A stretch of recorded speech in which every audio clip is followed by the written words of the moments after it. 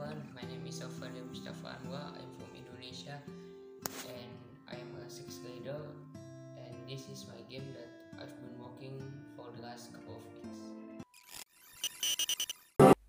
This game is a basic top-down shooter game and the goal of the game is to actually defeat lumberjacks that are trying to cut down the trees in the forest.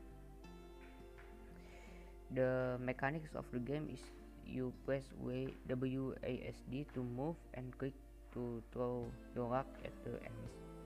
The space of the game is in forest and the components of the game is there's the there's the player enemy and also renderer the player which controls the movement the renderer which controls the animation of the player and others and the enemy well it controls the enemy.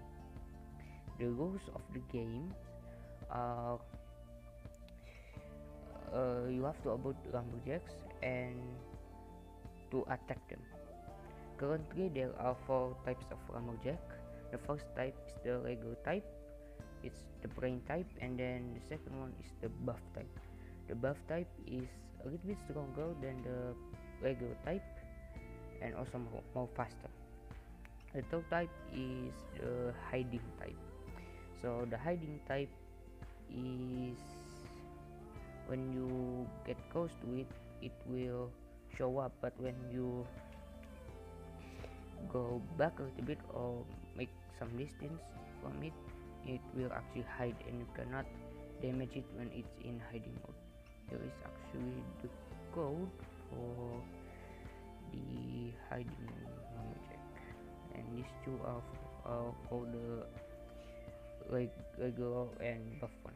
And the and the final type or the fourth type is the throwing type. The throwing type it is a type where he pretty much throws rocks similar to the player but he throws rocks to damage players not to damage lumberjacks or to defeat lumberjacks and uh, and pretty much that is it for my game. And uh, next up I'm going to show you some gameplay about my game.